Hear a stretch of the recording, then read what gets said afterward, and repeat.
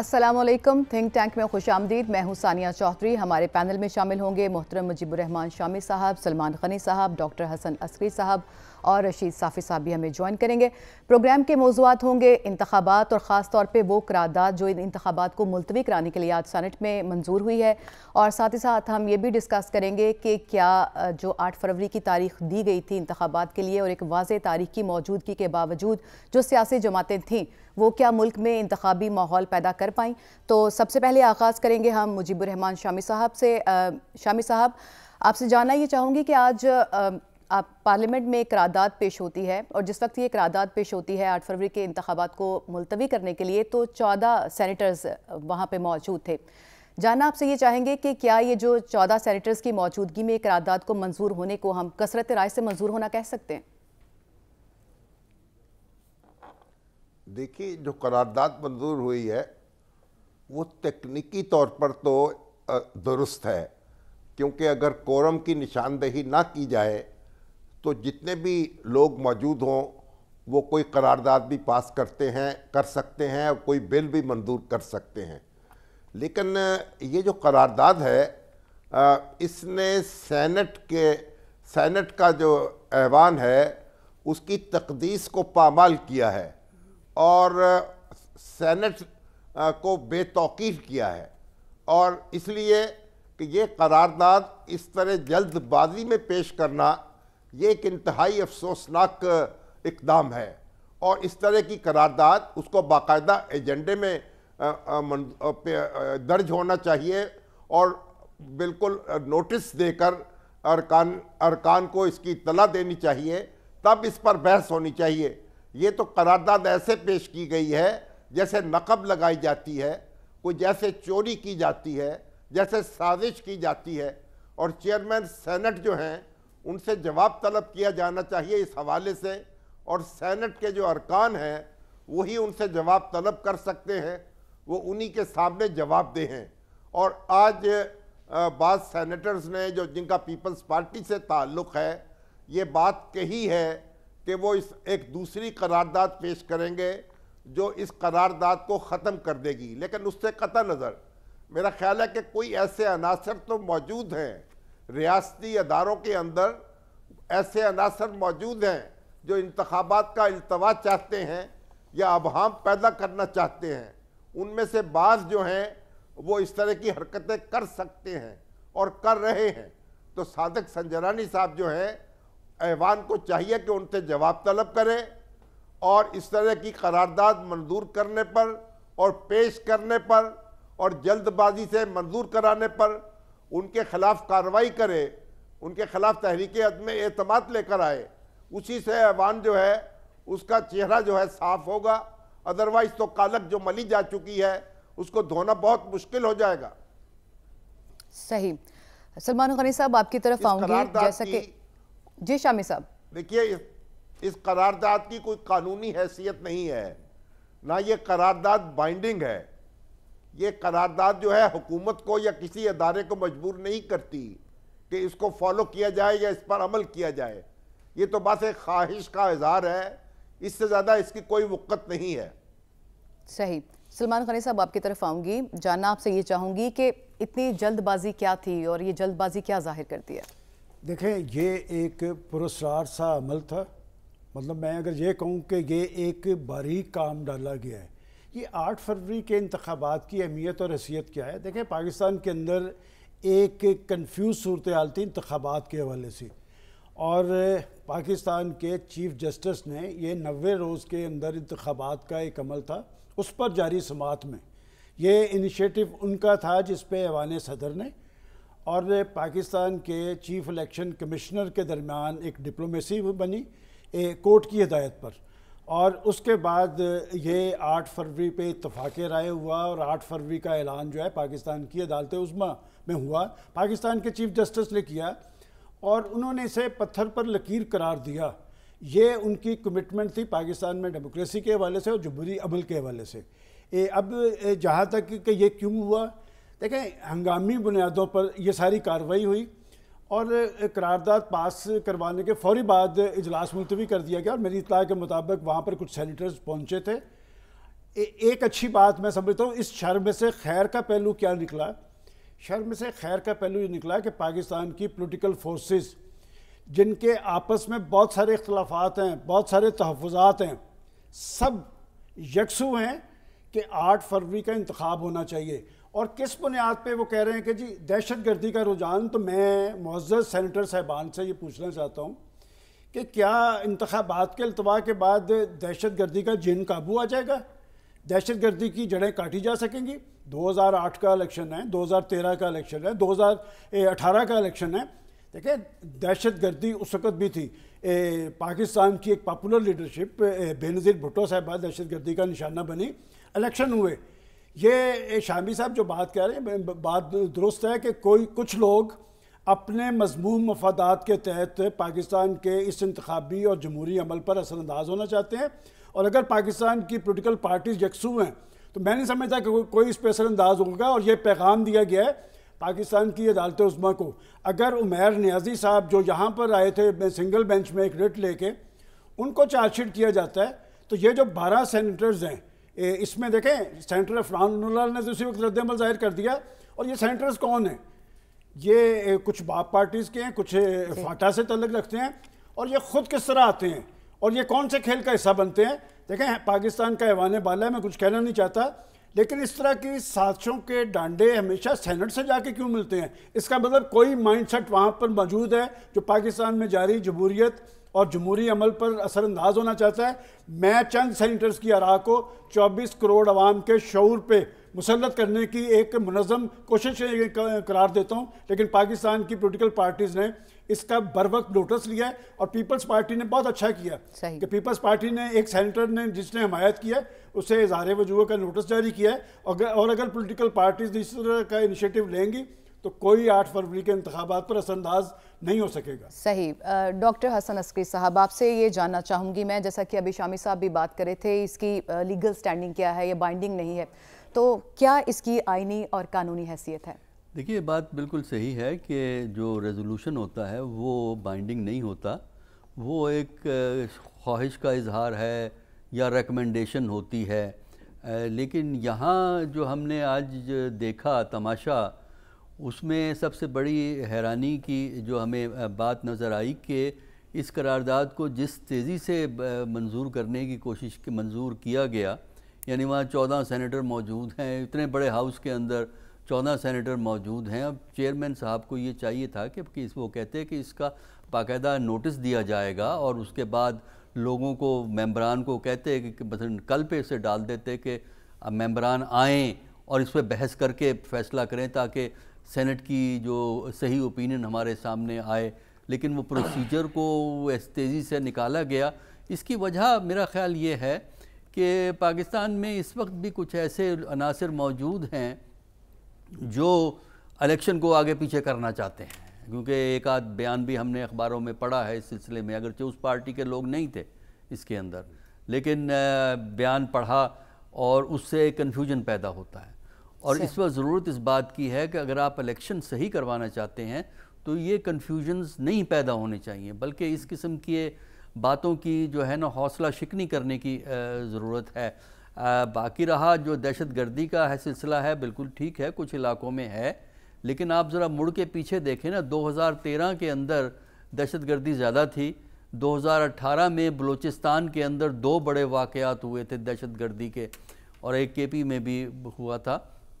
इस दफ़ा भी हमें सूरत हाल कुछ इलाकों में काफ़ी ख़राब नज़र आ रही है, लेकिन उसकी बुनियाद पे आप पूरे मुल्क के इलेक्शन को पोस्टपोन नहीं कर सकते, क्योंकि इलेक्शन तो वैसे ही डिले हैं और मज़ीद इनको डिले करके आप ना जमहूरीत की खदमत करेंगे, ना मुल्क की खदमत करेंगे और अगर पाकिस्तान में कन्फ्यूज़न को आपने दूर करना है, जो इबाम मौजूद, सियासी इबाम जो मौजूद है, उसका तरीका तो यही है कि इलेक्शन कराएँ फेयर एंड फ्री इलेक्शन कराएँ तमाम लोगों को कम्पीट करने का मौका दें।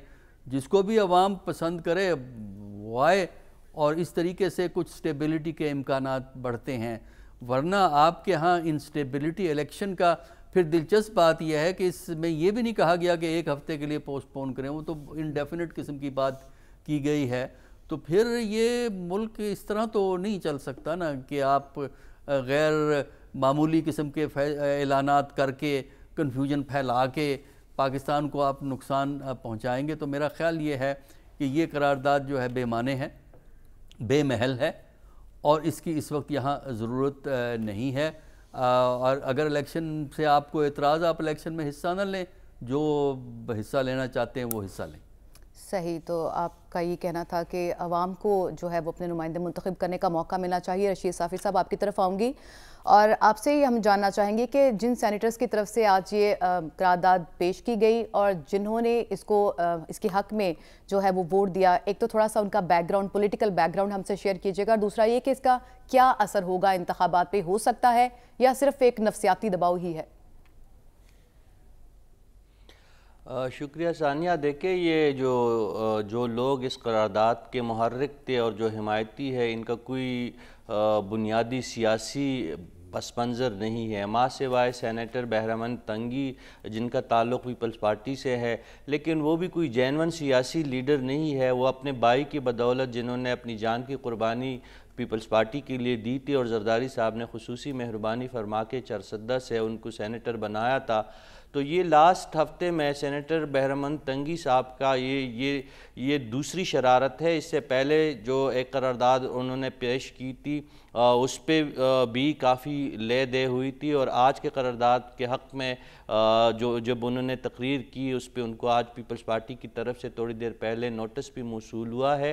ये बाकी मानदा जो गैंग है ये वही गैंग है आ, जो इशारों पे चलने वाला गैंग है से, आ, सेनेट के अंदर। इन्होंने ही सादिक संजरानी की अकलीत जो को अक्सरियत में बदलने में किरदार अदा किया था और मखसूस इशारों पे चलते हुए उस वक्त की जो चेयरमैन सेनेट का जो हक़ था पीपल्स पार्टी का और बाकी जो सियासी जमातें उस वक्त मौजूद थी, उनसे चीन के सादिक संजरानी में ये चेयरमैनशिप का ये जो पूरा मनसब था उनकी जोली में डाल दिया था। अब ये देखें इतनी पुरसरीत बरी गई थी इस करारदाद के हवाले से कि इसको ना तो एजेंडे में शामिल किया गया था।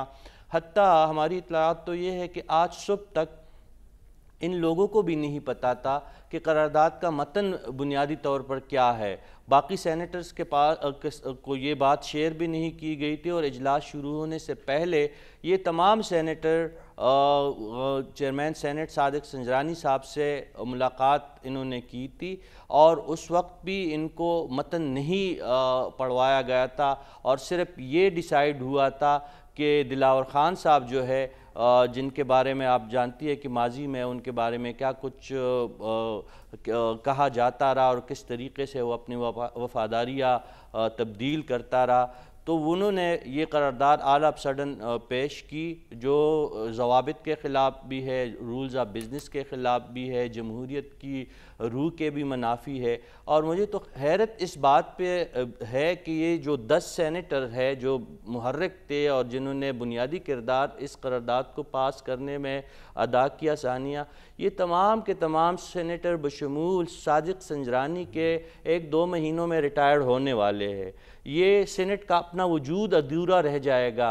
अगर इंतबात नहीं होते तो ये एक अजीब मंतक है कि एक इदारा ख़ुद अपने वजूद का आधा हिस्सा वो पूरा होने में रुकावट डाल रहा है। ये पहली दफ़ा हम देख रहे उसूलन जब तक आपका इलेक्ट्रोल कॉलेज कंप्लीट नहीं होगा तो सीनेट का वजूद भी कंप्लीट नहीं होगा। ये लोग तो ख़ुद रिटायर्ड होने जा रहे हैं। ये मंजूर काकर रिटायर्ड होने जा रहा है। ये कैदा बाबर रिटायर्ड होने जा रहे हैं एक दो महीनों में। सादिक संजानी साहब रिटायर्ड होने जा रहे हैं। तो ये लोग पहली दफ़ा हम देख रहे हैं कि एक आइनी और पार्लिमानी इदारा ख़ुद पार्लिमान के वजूद को बेतौकीर करने के साथ साथ उसको कमज़ोर करने का मरतकब हो रहा है। और सरत देखे इस करारदाद की पेश करने की जो जो टाइमिंग थी, उसमें भी सरत दिखाई गई और मज़ीद पुरती ये देखे कि करारदाद अभी पास भी नहीं हुई थी और चेयरमैन सेनेट के ऑफ़िस ने नोटिफिकेशन जारी करते हुए मुतलका महकमा से और वजारत से दो माह के अंदर इस करारदाद पर रिपोर्ट भी तलब कर दी। हम बीसों ऐसे करारदाद सानिया आपको बता सकते हैं जो ईवान बाला ने पास किए हैं लेकिन वो सुर्ख फीते का शिकार हो के एक साइड पे वो पड़े हुए हैं। आज तक उसकी किसी ने रिपोर्ट तलब नहीं की। कहने का मतलब ये है कि ये करारदाद टोटली बदनीयती पे मबनी है आईन को बहुत जल्दबाजी में हुआ सब कुछ और कोशिश जिस तरह सलमान साहब भी कह रहे थे कि मशकूक सा सारा ये प्रोसेस नज़र आता है और इसके ऊपर सवाल भी उठ रहे हैं। मुजीबर रहमान शामी साहब इस सारी सूरत हाल में जिस तरह जो माहौल था और जिस तरह से ये करारदाद मंजूर हुई फिर हमने देखा कि इजलास मुलतवी हुआ और फिर नोटिफिकेशन भी हुआ। तो इसके ऊपर आवाज़ें उठ रही हैं जो सैनिटर्स थे इस सारी कार्रवाई में शामिल और जो चेयरमैन सेनेट है उनके खिलाफ कार्रवाई से मुतालिक। तो ऐसा कुछ हो सकता है और अगर कार्रवाई हो सकती है तो वो किस किस्म की हो सकती है?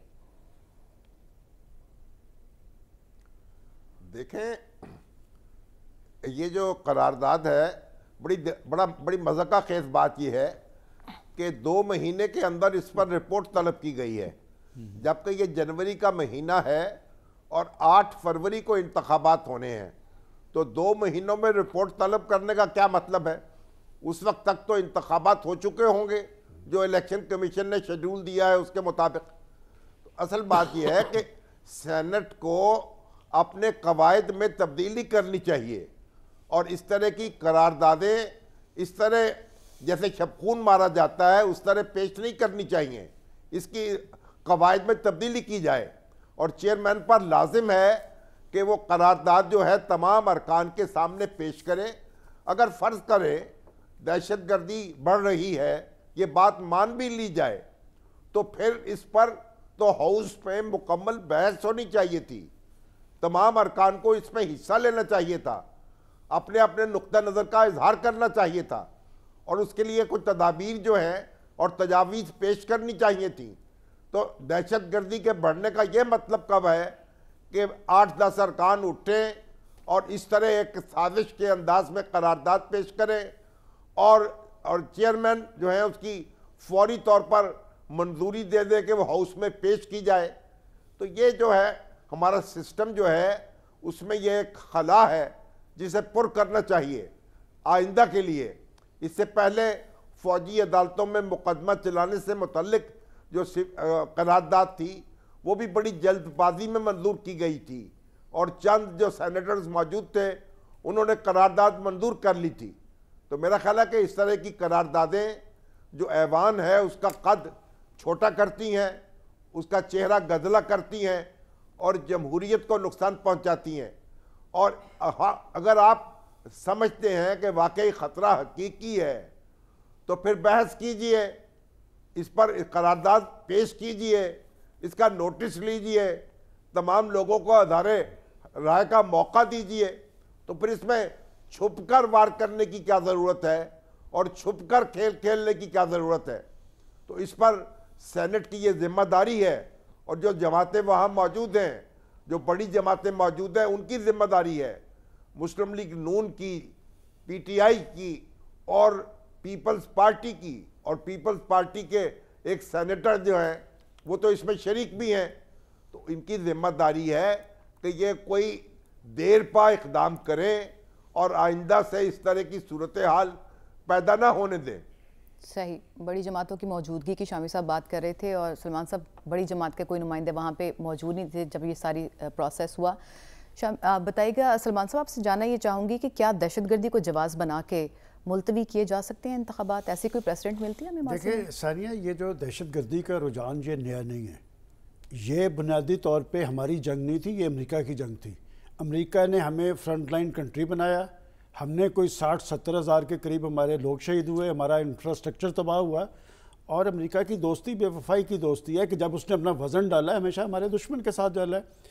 लेकिन ये क्रेडिट पाकिस्तान की सिक्योरिटी फोर्सेस को है कि उन्होंने कुर्बानियों की तारीख रकम करके दहशत गर्दी की जंग में एक बुनियादी किरदार अदा किया था और बुनियादी किरदार जो था, उस वक्त एक इलेक्टेड गवर्नमेंट थी।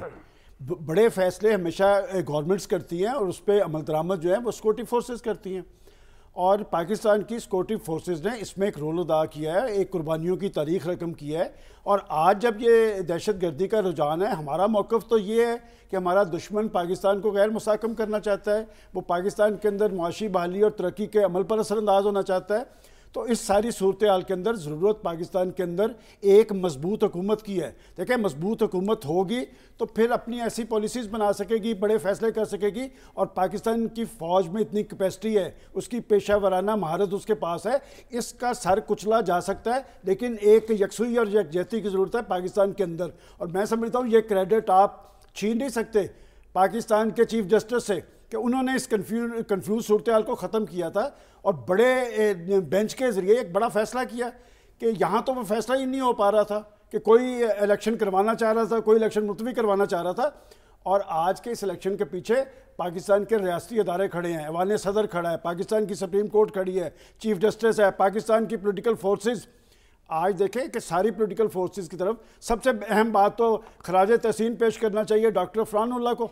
उसने बड़ी ज़रूरत से उसी वक्त खड़े होकर और वो सादक संजरानी साहब की जान निकल रही थी। वो उनको रोकने की कोशिश कर रहे थे और उनकी तकरीर बीच में से काट दी गई। अफरानुल्ला ने दुरुस्त तर्जमानी की है पाकिस्तान के 24 करोड़ आवाम की। इसलिए कि जो सियासी कारकुन होता है, उसे पता है कि मुल्क जो है जमहूरी प्रोसेस के नतीजे से बनने वाले मुल्क में इसकाम जमहूरीत की वजह से आएगा। ये एक साजिश हो रही है। हम भी सुन रहे थे, हमें भी बड़े बड़े लोग कह रहे थे कि जी दहशत गर्दी का रुझान आम होगा दहशत गर्दी के वाक़ात होंगे। यहाँ तक आ गया, खुदा ना करे। हमने पहले भी बेनज़ीर भुट्टो साहबा की कुर्बानी दी है। एक बड़ा आदमी भी जा सकता है और फिर इलेक्शन का अमल। ये इलेक्शन के अमल पे असरअंदाज होना दुश्मन की कोशिश है। वो नहीं चाहता पाकिस्तान अंदरूनी तौर पर मज़बूत और मुस्तकम हो।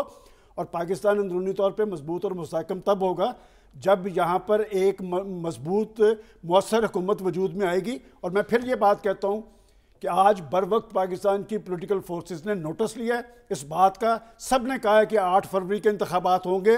आठ फरवरी के इंतबात के पीछे पाकिस्तान की अदालत उजमा भी है, वान सदर भी है पोलिटिकल फोर्सेस भी है और जो लोग इस पर असरअंदाज होना चाहते ये बारह लोग कौन हैं? इनका क्या पस मंज़र है? वो ठीक कहा साफी साहब ने, ये गैंग है और ये गैंग किन का है ये सैनेट की कार्रवाई करने वाले, पार्लियामेंट्री रिपोर्टर से पूछे कि किन के कमरे में बैठे थे? वहाँ से उठ के आए। जुमे की नमाज़ तक तो किसी को पता नहीं था, आके अपनी वारदात डाल के वहाँ से दौड़ गए। ये पाकिस्तान के 24 करोड़ आवाम के लिए लंबे फिक्री है कि इस तरह के लोग अवान बाला में, और ये आते किस तरह हैं? ये आपको पता है? मैं बताना नहीं चाहता किस रास्ते से आते हैं, किस मकासद से आते हैं, और फिर बड़े खेल का हिस्सा बनते हैं। मैं समझता हूँ कि पाकिस्तान की पोलिटिकल लीडरशिप और पोलिटिकल फोर्सेस को पाकिस्तान के अंदर इंतबी माहौल तारी करना चाहिए।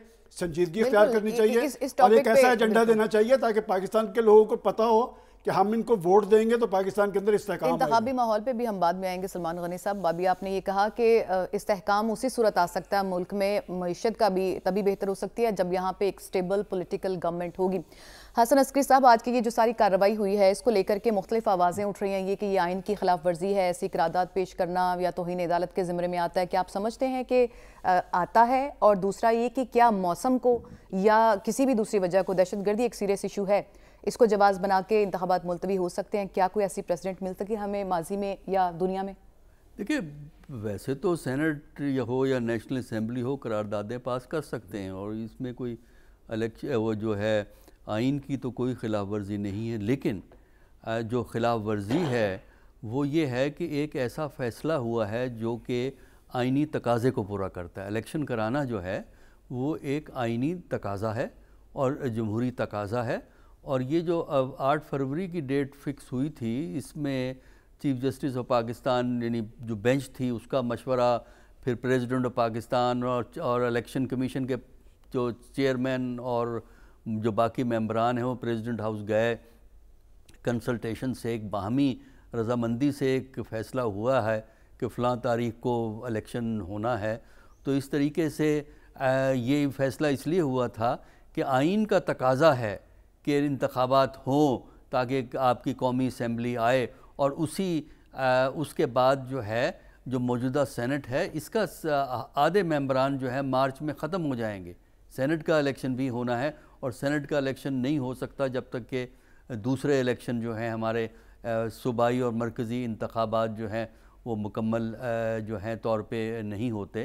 तो इसलिए पूरे आप डेमोक्रेटिक प्रोसेस को और आइनी तकाज़ों को एक तरफ़ रख के अगर सियासी निज़ाम को चलाएँगे तो फिर जो है उसके नतज को इतने अच्छे बरामद नहीं होंगे। तो उसमें तो सिर्फ़ यही है कि ये जो करारदाद को पास करने का हक तो होता है अदारे का, यानी कौमी असम्बली हो या सेनेट हो, लेकिन जो अहम मौजूद होते हैं, उसकी ज़रूरत ये होती है कि तमाम मेम्बरान को नोटिफाई किया जाता है। आप एजेंडे में शामिल करते हैं नोटिफाई करते हैं कि ये मसला आ रहा है, आप फिर मेम्बरान ख़ुद ब खुद आते हैं, क्योंकि उन्हें, उनके लिए अहम होता है। और उसके बाद फिर आप एक फ़ैसला जो है वो करते हैं। इस तरीके से जो तरीक़ाकार इख्तियार किया गया, वो गैर जमहूरी और गैर पार्लिमानी तरीक़ाकार है। तो हम यही उम्मीद करते हैं कि इस किस्म की जो कोशिशें हो रही हैं और के इलेक्शन को डिले कराया जाए उनकी हौसला शिकनी हो कर की जाएगी। और ये रुझानात कन्फ्यूज़न पैदा करते हैं। सही। और सबसे ज़्यादा जो ज़रूरत इस इस बात की है पाकिस्तान की सियासत में कन्फ्यूज़न कम हो और जो हम आहंगी में इजाफ़ा किया जाए ताकि उन चैलेंजेस का मुकाबला कर सकें। इलेक्शन बजाते ख़ुद तो हर मसला हल नहीं करता लेकिन इलेक्शन आपको एक तरीक़ाकार देता है एक रास्ता बताता है और एक तरफ़ इशारा करता है कि किस तरीके से कौम इकट्ठी होकर अगर अपने मसाइल को एड्रेस करे तब मसाइल हल तो करारदाद में कोई मसला नहीं है लेकिन जो तरीकाकार इख्तियार किया गया उसमें मसला है। रशीद साफ़ी साहब आपकी तरफ़ आऊँगी और आपसे ये जानना चाहूँगी कि क्या मौसम या दहशत गर्दी या किसी भी दूसरे जवाब को वजह बनाकर इलेक्शन मुलतवी कराए जा सकते हैं? क्या कोई ऐसी नज़ीर मिलती है हमें?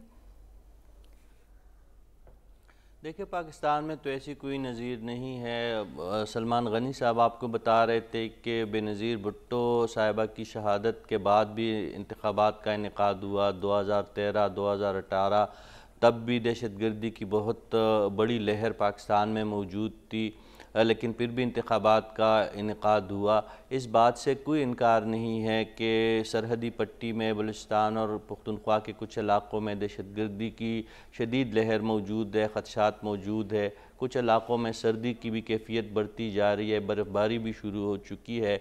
लेकिन ये, इसका ये हरगिज़ मतलब नहीं है कि तेईस करोड़ के मुल्क में ही आप दस लोगों के कहने पर इंतबात को अल्तवा में डाल दें। जो पहले ही से बहुत ज़्यादा तखीर का शिकार हो चुके हैं। आप वहाँ पर दोबारा इंतबात करवाए, इस करारदाद में तो ये कोई तजवीज़ है ही नहीं कि आप अव्वल तो दहशत गर्दी ख़त्म होने का किसी के पास कोई टाइम लाइन है ही नहीं कि दहशत गर्दी की अफरीत कब हमारे ख़त्े से ख़त्म होगी। अगर दिलावर ख़ान साहब बता सकते हैं कि दो महीने बाद दहशत गर्दी पाकिस्तान में नहीं होगी तो हो सकता है हम ये कड़वा गूंद पीने पे भी राज़ी हो जाए कि चले दो महीने बाद आप इलेक्शन करवा दें। लेकिन अगर आपके पास कोई हल नहीं है, आपने इसमें कोई हल तजवीज़ ही नहीं किया है कि इस करारदाद का मकसद क्या है मुदा तो आपका आपने मुदा बयान कर दिया है, लेकिन हल भी आपको बताना चाहिए था कि हल क्या है। आप हल नहीं बता रहे, काम सिर्फ़ आपने ये करना था कि आपने इबाम पैदा करना था वोटर और जो कैंडिडेट और जो जुमातें थी, उनको कंफ्यूज बनाना था। वो आपने मज़ीद कन्फ्यूज़न मज़ीद धुन उड़ा के धूल उड़ा के आपने फ़ज़ा को मकतर किया, ख़राब किया।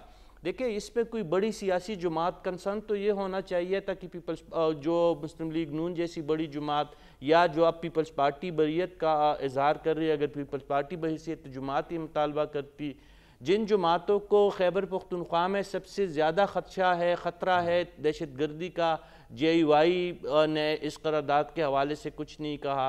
अवामी नेशनल पार्टी का जो पार्लिमानी लीडर है हाजी हैदतुल्ला और उनकी तरफ़ से ना तो शिरकत उस वक्त थी, ना उनकी तरफ़ से ये करारदाद पेश हुआ।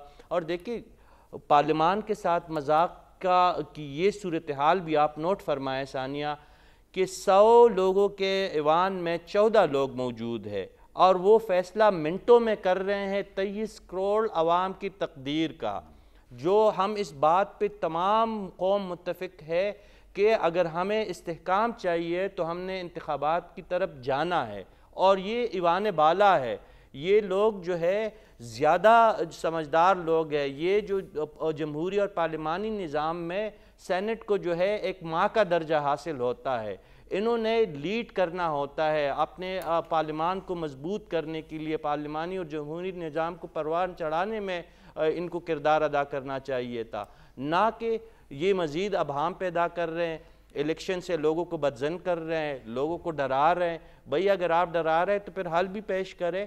बिल्कुल एक साजिश के तहत ये काम हुआ है एक सोचे समझे मंसूबे के तहत आज का दिन का इंतखब किया गया जुम्मे के दिन हम सब जानते हैं कि सीनेट में मुख्तर सी कार्रवाई होती है सही फिर अगले दो दिन या कानूनी हैसियत या बाइंडिंग हो। या ना हो लेकिन इससे एक इबहम ज़रूर पैदा हुआ है एक साइकोलॉजिकल जो सिचुएशन है कि एक प्रेशर है कि इबाम पैदा हुआ है, सारी सूरत हाल से, ये तो अपनी जगह पर मौजूद है। यहाँ पर हम एक ब्रेक शामिल करेंगे और जब ब्रेक के बाद वापस आएँगे तो हम डिस्कस करेंगे एक वाज तारीख की मौजूदगी में क्या जो सियासी जमातें थी, वो अब तक सियासी माहौल पैदा कर पाई इस मुल्क में। वापस आएँगे एक ब्रेक के बाद।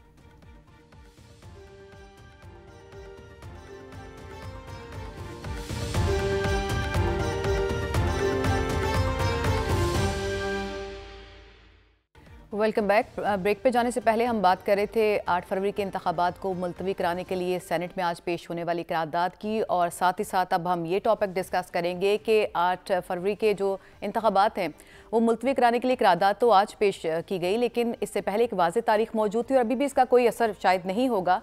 लेकिन इसके बावजूद हमें क्या मुल्क में सियासी माहौल नज़र आया?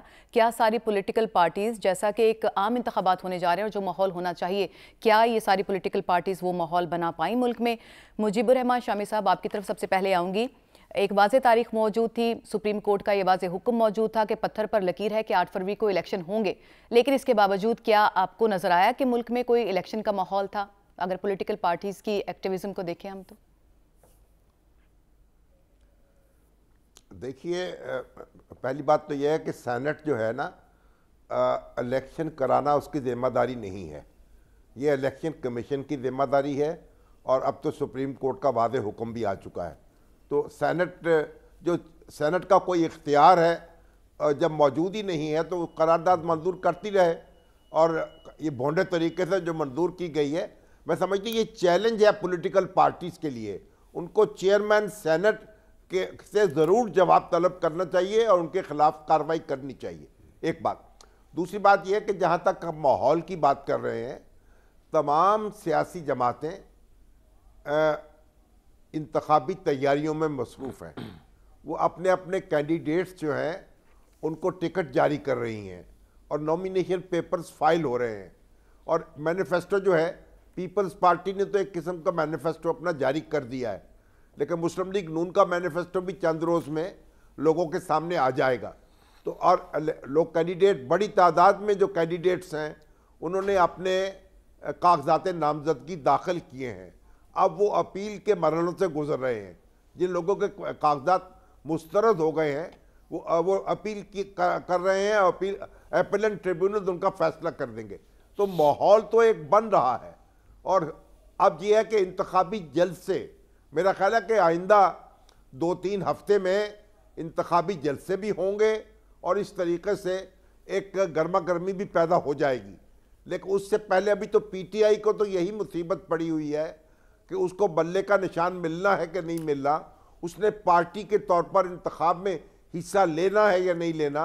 या उसने, उसके लोगों ने आज़ाद उम्मीदवार के तौर पर इलेक्शन लड़ने हैं और हर एक के पास निशान मुख्तलिफ़ होगा? तो अभी तो पी, अब हम पी टी आई से क्या तो करें कि जल्द से वो कैसे शुरू करें और किस तरीके से, इस मरहले से गुजरे बगैर वो आगे बढ़ जाए? तो एक तो हमें ये भी समझना चाहिए कि पीटीआई जो है अपने हालात और मुश्किल से अहदा बरा होने की कोशिश कर रही है। मुस्लिम लीग नून जो है, वो अपने उम्मीदवारों को फाइनलाइज कर रही है। और और जो पीपल्स पार्टी है, उसके बिलावल भुट्टो जरदारी, उसका तो ऐलान भी कर दिया उन्होंने कि वो वज़ीर अजम के कैंडिडेट हैं, वो जगह जगह जलसे भी कर रहे हैं और अपना मंशूर भी लोगों के सामने रख रहे हैं। तो इसलिए एक माहौल जो है, वो तो इंतबी माहौल बन रहा है। और आहिस्ता आहिस्ता जब तक ये फैसला नहीं होगा कि पीटीआई का मुस्तकबिल क्या है क्या वो पार्टी के तौर पर इंतबात में हिस्सा लेगी या नहीं लेगी की वजह से अभी वो माहौल नहीं बना पा रही है। सही। वो उस तरह गर्म नहीं होगा जिस तरह हमारी ख्वाहिश है। सही। सलमान गनी साहब आपसे ये जानना चाहूँगी कि अभी जैसे शामी साहब बात कर रहे थे कि पीछे आई तो चले कानूनी पेचीदगियों का सामना करिए इसलिए माहौल नहीं बना पाई। मुस्लिम लीग नून ने माहौल बनाया? देखिए एक बात जो है, वो गुज्त हफ़्ते हम यहाँ बात कर रहे थे कि एक पार्टी को टारगेट करते हुए उनके कागजात मुस्रद हो गए। लेकिन ट्रिब्यूनल्स में से आज आप देखें कि बहुत सारे लोग उनके कागजात क्लियर हो गए। शाह महमूद कुरैश साहब, शेख रशीद साहब, शुएब शहीन साहब, हमारे कुलीग अयाज अमीर साहब नकवी साहब है कराची से, राजा बिशारत साहब, फवाद चौधरी साहब तो वो सूरत चूँकि इमरान खान साहब तो चूँकि सज़ा याफ्ता है, उसके बाद उनकी पार्टी लीडरशिप उस मरले से निकल रही है। जहाँ तक आपने बात की कि इंतबी माहौल, अगर इंतबी माहौल सानिया साहबा तारी होता तो इन सैनिटर्स को ये ज़रूरत ना होती। और अब हम इस बात का तजिया करें कि ये माहौल क्यों तारी नहीं हो पा रहा? शामी साहब ने कहा कि तारी हो रहा है। माजी के इलेक्शन पाँच इलेक्शन मैंने कवर किए हैं। इस वक्त पीक पे होती है कंपेन। जलसे हो रहे होते हैं। क्या वजह है कि उसकी बड़ी वजह, मेरा ख्याल हमें जैसे हम क्रेडिट दे रहे थे कि पाकिस्तान की पोलिटिकल पार्टीज़ यकसू हैं इलेक्शन करवाने में तो ये चार्जशीट उनके खिलाफ है कि पाँच साल में पाकिस्तान की तमाम पोलिटिकल पार्टीज़ हुकूमत के अंदर रहीं। उनकी याशियाँ मरात का सिलसिला जारी रहा।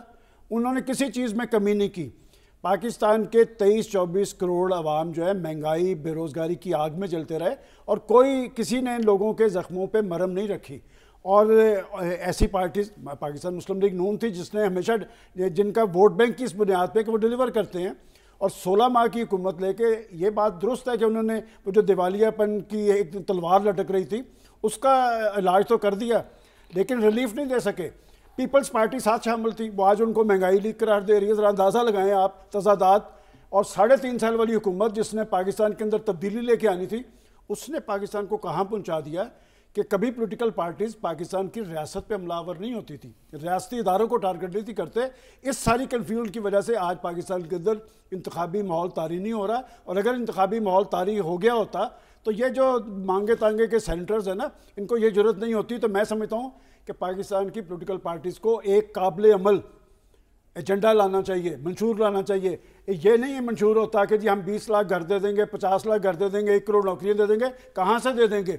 पाकिस्तान को आपने ला के कहाँ खड़ा कर दिया है? और अगर पाकिस्तान के सारे फैसले आईएमएफ ने करने हैं और पाकिस्तान की तकदीर के वो वारस है तो फिर आप किस मर्ज की दुआएँ तो मैं समझता हूँ कि गेंद पाकिस्तान की पॉलिटिकल लीडरशिप की कोर्ट में है। उन्हें अब कौम कौम के अंदर अपना अहतमाद भी बहाल करना पड़ेगा। क्योंकि लोग मसाइल ज़्यादा हैं, लोग महँगाई ज़्यादा हैं, ये मान लें कि आज उनके चूल्हा नहीं जल रहा, उनके दिल जल रहे हैं। ये बिजली के बिल जिन बन चुके हैं। और अब ये गैस और ये मैं आपको बताऊँ ये गैस के बिल जो है ये हर महीने अज खुद ही बढ़ते जा रहे हैं कि जो चार सौ रुपये का बिल था वो चौंतीस सौ रुपये में और चौंतीस सौ वाला इस दफ़ा चौतालीस सौ में हो गया तो ये क्या हो रहा है? और सानिया साहबा कोई हफ़्ता नहीं गुजर रहा। डॉक्टर साहब कोई हफ़्ता नहीं गुजरा कि बिजली के बिलों में इजाफा ना हो रहा हो। हम्म। किसी पोलिटिकल लीडरशिप का बयान पड़ा है? कि जो बिजली के झटके पाकिस्तान के अवाम को लग रहे हैं आप कहाँ खड़े हैं? कौन सी सियासत कर रहे हैं? क्या कैसी डेमोक्रेसी है जो पाकिस्तान के अंदर डिलीवर नहीं कर रही? और आप वोट अवाम से भाग रहे हैं और अवाम को झटके लग रहे हैं। आप उनके साथ वज़न डालने के लिए भी तैयार नहीं है। इंतबी माहौल इसलिए तारी नहीं हो रहा कि लोगों के अंदर वोटर्स को गुस्सा और वोटर्स को मुतमिन नहीं कर सकी डिलीवर नहीं कर सकी इसलिए अब इन पोलिटिकल पार्टीज़ के पास अब ये जाना अवाम में उस तरह से उनको फेस नहीं कर पा रही। ये आप कह रहे थे आपका पॉइंट आ गया यहाँ पे शामिल करेंगे एक ब्रेक वापस आएँगे तो अपने पैनल के दूसरे मेम्बरान की राय भी इस पर लेंगे।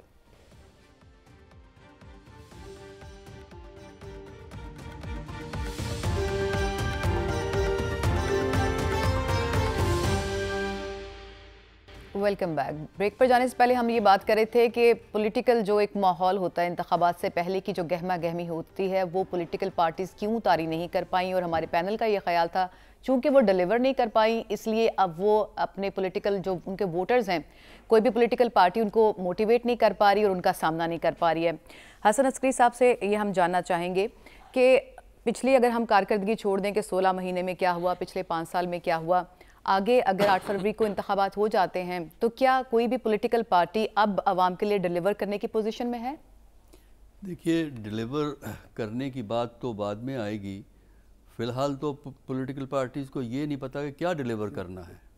इस वक्त पाकिस्तान की सियासत में एक आम आदमी की लेवल पर अदम वाबस्तगी और नाउमीदी का रुझान है। क्योंकि जो पॉलिटिकल लीडरशिप गुफ्तु कर रही है उसका आवाम के मामला और मसाइल से कोई ताल्लुक़ नहीं। आप यूँ करें ना अखबार को उठाइए, जो इसका आसान तरीका है अखबार पे उठाइए और अखबार में देखिए कि हमारे सियासतदान जो इलेक्शन लड़ रहे हैं या लड़वा रहे हैं, क़्यादत कर रहे हैं, उनके बयान क्या हैं? क्या उनके बयान में कोई ऐसा सलूशन है जिससे कि उनके जो इकतसादी बहरान इस मुल्क के अंदर है जो आवाम पे कीमतों का बोझ पड़ा हुआ है और जो इस वक्त खुली छुट्टी मिली हुई है पाकिस्तान के अंदर रियासती अदारे मतलब जो बिजली पानी ये तो रियासती अदारे हैं ना बिजली वाले पानी वाले और गैस वाले अपनी मर्ज़ी से कीमतें। हमें सिर्फ़ अखबार में पता लगता है जी ये चार रुपये साढ़े चार रुपये बढ़ गए ये दो रुपये अगले महीने आएँगे वो जो है फ्यूल एडजस्टमेंट प्राइस के अंदर बिजली के। और आ, इसी तरह जो मार्केट फोर्सेस हैं, वो भी खुली फिर रही हैं। कोई उनको कंट्रोल नहीं कर सकता, वो प्राइस को जब चाहें, जितना चाहें जो है वो बढ़ा देते हैं। तो इसमें बात यह है कि आवाम की, आवाम को नुकसान पहुँचा के हमारे यहाँ एक इकतसादी तबके ने फ़ायदा उठाया है। और उस इकतसादी तबके का असर हमारी सियासी जमातों पे है, क्योंकि हमारी सियासी जमातें फंडिंग पे इसार करती हैं। फंडिंग मैं और आप तो नहीं दे सकते ना। उनको तो बड़ी बड़ी फंडिंग चाहिए। जो बड़ी बड़ी फंडिंग आपको मुहैया करते हैं, वो बड़े बड़े मुफादात रखते हैं और उन मुफादात की बुनियाद पे वो फंडिंग प्रोवाइड करते हैं। तो लिहाजा इस वक्त बहुत बड़ा एक गैप है सियासी लीडरों की सोच में और और मसाइल में। ठीक है, वो एक जनरलाइज स्टेटमेंट दे देते हैं कि हम ये करेंगे, हम मसले हल करेंगे, हम प्राइस कंट्रोल करेंगे। भाई, ये किस तरह करेंगे? क्या मैकेनिज़म्स हैं? क्या तरीक़ाकार है? कौन सा ब्यूरोक्रेटिक सिस्टम को आप इस्तेमाल करके चीज़ों की प्राइस कंट्रोल करेंगे? किस तरह उन अनासर को आप कंट्रोल करेंगे जिनके पैसे पे आप इलेक्शन लड़ते हैं? तो इस वजह से एक बड़ा ही नाउमीदी का माहौल हमें आवाम की सतह पर नज़र आता है। यही वजह है कि इलेक्शन के लिए इतना इंथ्यूज़म नहीं है। अवाम इलेक्शन में इस वक्त अभी तक कोई दिलचस्पी नहीं इजहार कर रहा है क्योंकि लीडरशिप भी कोई अपने आप को एक्टिवली प्रेजेंट नहीं कर रही। तो बिलावल भुट्टो वैसे जब अपनी कैंपेन कर रहे थे तो वो कार्बन क्रेडिट्स क्रेडिट्स के थ्रू और फिर कुछ वजारतें ख़त्म करके वो कह रहे थे मैं इतने पैसे बचाऊँगा कि फिर आवाम को उससे हम रिलीफ देंगे। रशीद साफ़ी साहब आपकी तरफ़ आऊँगी क्या आपको कोई ऐसी पोलिटिकल पार्टी नज़र आती है जिसके एजेंडे पर आवाम की फलाह हो? ये तो मेरे ख़्याल में इसके लिए काफ़ी मेहनत करनी होगी। तहकीक के बाद ही अगर कुछ हाथ लगे तो आपके साथ सानिया फिर मैं शेयर कर लूँगा। इस वक्त तो मुझे कोई ऐसी पार्टी नज़र नहीं आ रही जो आवाम के लिए सियासत कर रही है। तमाम सियासी जमातें जो है, अपनी बका की जंग जल, जंग लड़ रही है। अपनी सियासत को परवान चढ़ाने के लिए ये जो उनकी सरगर्मियाँ है ये वहाँ तक ये महदूद है। आवाम देखिए इतनी बेहसी है, सर्दी के मौसम में हमने कभी लोड शेडिंग नहीं देखा था। अब सर्दी के मौसम, अब धुंध को मोरद इल्ज़ाम ठहराया जा रहा है। ऐसे ऐसे इलाके हैं, पुख्तनख्वा के और हती इस्लामाबाद और पिंडी के ऐसे इलाके हैं जहाँ पे आठ आठ घंटे छः छः घंटे मुसलसल लोड शेडिंग की जा रही है। और बात जब बिल की तरफ़ आती है तो उसमें रोज़ इजाफ़ा होता है। अगर किसी का दस हज़ार रुपये आता है तो अगले महीने वो पंद्रह हज़ार खुद ब खुद हो जाता है। अगर ये आवाम के लिए सियासत की जाती तो ये तमाम चीज़ें, ये एजेंडे में शामिल होती, तरजीहत में शामिल होती। ये महँगाई, ये बेरोज़गारी, ये बदमनी, इनका देखिए, नारों से तो कुछ नहीं होगा। हमें पता है कि बेरोज़गारी है, हमें पता है कि महँगाई है हम खुद दहशत गर्दी को भुगत रहे हैं, हमें ये बताने की ज़रूरत नहीं है। हमें हल पेश करे, कोई भी जुमात करे, पीटीआई पेश करे, पीपल्स पार्टी पेश करे, मुस्लिम लीग नून करे जे यू आई करे, जुमात इस्लामी करे, कोई करे, लेकिन हमें बताए कि इस तरीके से हमारी निजात होगी। या जो महँगाई का जो तूफ़ान है, बेरोज़गारी का तूफ़ान है, बदमनी का तूफ़ान है, आदम इसकाम की जो कैफियत है इसको इस तरीके से रोकेंगे। हम ये भी समझते हैं कि मसाइल गंभीर है। हमें दस साल बताया जाए, पंद्रह साल बताया जाए, बीस साल का मनसूबा हमें दिया जाए कि बीस साल के बाद पाकिस्तान सुधर जाएगा या ठीक हो जाएगा। ना तो किसी के साथ कोई एजेंडा है, ना कोई तरजीह है। इसलिए ये तमाम चीज़ें जो है अभी तक ड्राइंग रूम्स तक ही इंतबी सरगर्मियाँ वो महदूद है हती कि पाकिस्तान का सियासी दारुलखिलाफ़ा यानी लाहौर में वो कैफियत नहीं बन पा रही है। आज ठीक है, बिलाउल भुट्टो साहब ने एक जलसा कर दिया, उससे पहले भी वो मैदान पे आए आए थे, नवाज़ शरीफ साहब जब लंदन से आए, तब उन्होंने जलसा किया था, लेकिन उसके बाद खामोशी है। उसके बाद कुछ ख़ास नहीं हो रहा। आज जो है जुल्फ़ार अली भुट्टो साहब का जो था उनका जन्मदिन था। इस हवाले से भी कुछ ख़ास सरगर्मियाँ हमें देखने को नहीं मिली। जब ये कैफियत आपके सियासी दारुलखिलाफा यानी लाहौर कि ये हालत है तो मैं क्या बात करूँ बाजोड़ बड़ा इंटरेस्टिंग पॉइंट रशीद साहब आपने ये बताया कि मसाइल सारी पॉलिटिकल पार्टीज़ हमें बताती हैं और मसाइल तो हमें पहले ही पता है। हमें हल बताएँ। और कौन हल करेगा ये अब देखना होगा कि इलेक्शन होते हैं आठ फरवरी को। तो उसके बाद जो भी पॉलिटिकल गवर्नमेंट बनती है, वो इन मसाइल को कैसे हल करती है? आज के शो से इतना ही। कल इंशाल्लाह फिर हाजिर होंगे। कल तक के लिए अल्लाह हाफिज़।